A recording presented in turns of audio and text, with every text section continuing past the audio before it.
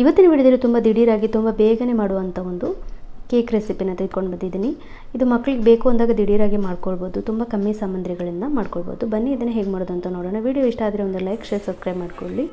ಫಸ್ಟಿಗೆ ಇಲ್ಲಿ ಮೂರು ಸ್ಪೂನಷ್ಟು ಬಟರ್ನ ಹಾಕ್ಕೊಂಡಿದ್ದೀನಿ ಮೂರು ಸ್ಪೂನ್ ಬಟರ್ ಬಟರ್ ಇರಲಿಲ್ಲ ಅಂದರೆ ಒಂದು ಸ್ಪೂನ್ ಬಟರ್ ಹಾಕಿ ಎರಡು ಸ್ಪೂನ್ ಸನ್ಫ್ಲವರ್ ಆಯಿಲ್ನ ಹಾಕ್ಕೊಳ್ಬೋದು ನಾನು ಇಲ್ಲಿ ಸನ್ಫ್ಲವರ್ ಆಯಿಲ್ನ ಹಾಕ್ಕೊಳ್ತಾ ಇದ್ದೀನಿ. ಒಂದು ಸ್ಪೂನ್ ಬಟರ್ ಹಾಕಿದ್ದೀನಿ ಟೇಬಲ್ ಸ್ಪೂನಲ್ಲಿ ಮತ್ತು ಕಾಲು ಕಪ್ಪಷ್ಟು ಸಕ್ಕರೆ ಪುಡಿ ಹಾಕ್ಕೊಂಡಿದ್ದೀನಿ ಕಾಲು ಸ್ಪೂನಷ್ಟು ವೆನಿಲಾ ಎಸೆನ್ಸ್ ಹಾಕಿ ಚೆನ್ನಾಗಿ ಮಿಕ್ಸ್ ಮಾಡ್ಕೊಳ್ಳಿ ಇದನ್ನು.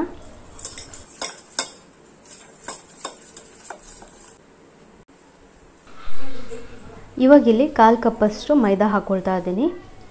ನಂತರ ಇಲ್ಲಿ ಕಾಲು ಕಪ್ ಅಂದರೆ ದೊಡ್ಡ ಸ್ಪೂನಲ್ಲಿ ಒಂದು ಎರಡು ಸ್ಪೂನಷ್ಟು ಮೊಸರನ್ನ ಹಾಕ್ಕೊಳ್ತಾ ಇದ್ದೀನಿ. ಟೇಬಲ್ ಸ್ಪೂನಲ್ಲಿ ಎರಡು ಸ್ಪೂನ್ ಮೊಸರು ಹಾಕ್ಕೊಂಡ್ರೆ ಸಾಕು ನೀವು. ನಂತರ ಇಲ್ಲಿ ಅರ್ಧ ಕಪ್ಗಿಂತ ಸ್ವಲ್ಪ ಕಮ್ಮಿನ ಹಾಲನ್ನ ಹಾಕ್ಕೊಳ್ತಾ ಇದ್ದೀನಿ. ಅರ್ಧ ಕಪ್ ಪೂರ್ತಿ ಹಾಕ್ಕೊಳ್ಬೇಡಿ ಹಾಲನ್ನ. ಸ್ವಲ್ಪ ಸ್ವಲ್ಪನೇ ಹಾಲನ್ನ ಹಾಕಿ ಮಿಕ್ಸ್ ಮಾಡಿಕೊಂಡು ನಿಮಗೆ ಅವಾಗ ಅಂದಾಜಾಗುತ್ತೆ ಎಷ್ಟು ಹಾಲು ಇದಕ್ಕೆ ಸಾಕಾಗುತ್ತೆ ಅಂತ. ತುಂಬ ತಿಳು, ತೆಳುನೂ ಆಗಬಾರ್ದು, ತುಂಬ ದಪ್ಪನೂ ಆಗಬಾರ್ದು. ಈಗ ನೀವು ನೋಡ್ತಾ ಇರ್ಬೋದು.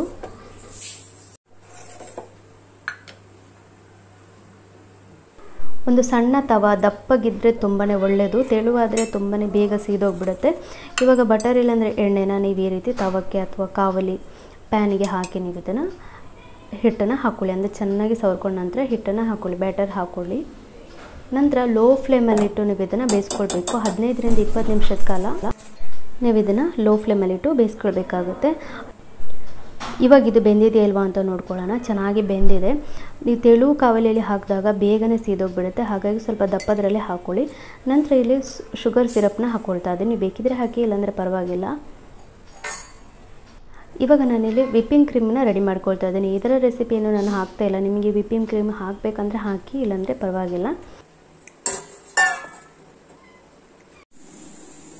ಈಗ ವಿಪ್ಪಿಂಗ್ ಕ್ರೀಮ್ನ ಹಾಕಿ ಚೆನ್ನಾಗಿ ಸೆಟ್ ಮಾಡ್ಕೊಂಡಿದ್ದೀನಿ. ನೀವು ನೋಡ್ತಾ ಇರ್ಬೋದು. ಅದ ನಂತರ ನಾನು ಯಾವುದಾದ್ರೂ ಚಾಕ್ಲೇಟ್ ಬಿಸ್ಕೆಟ್ನ ಪುಡಿ ಮಾಡಿ ಹಾಕಿದ್ದೀನಿ. ನೋಡಿ, ಎಷ್ಟು ಚೆನ್ನಾಗಿ ಕಾಣ್ತಿದೆಯಲ್ವಾ ಸೊ ಇವತ್ತಿನ ಈ ವಿಡಿಯೋ ನಿಮ್ಗೆ ಇಷ್ಟ ಆಗಿದೆ ಅಂತ ಭಾವಿಸ್ತೀನಿ. ಇಷ್ಟ ಆದರೂ ಒಂದು ಲೈಕ್ ಶೇರ್ ಸಬ್ಸ್ಕ್ರೈಬ್ ಮೂಲಕ ಸಪೋರ್ಟ್ ಮಾಡಿ.